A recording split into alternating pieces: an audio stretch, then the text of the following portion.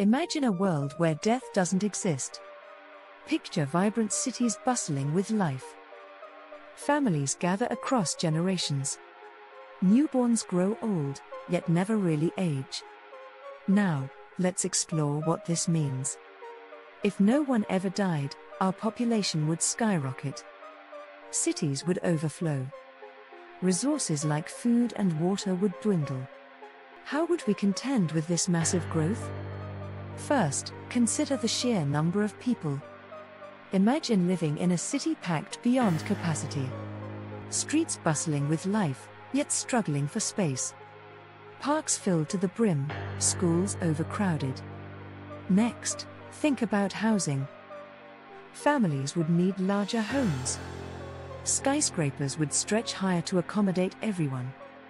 But can our planet provide enough resources? Scientific breakthroughs might emerge to extend life. Medical advances could allow us all to live healthier. But at what cost? Now, reflect on the emotional effects. Living eternally sounds appealing. Yet, what about boredom? Would relationships grow stale? Or, would we cherish moments deeper? Consider the philosophy of life.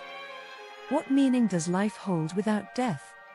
Life's temporary nature gives it value.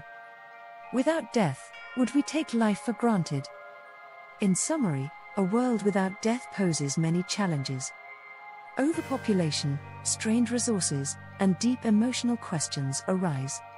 So, we ask you would immortality be a blessing or a curse? Take a moment to reflect on this. Share your thoughts in the comments.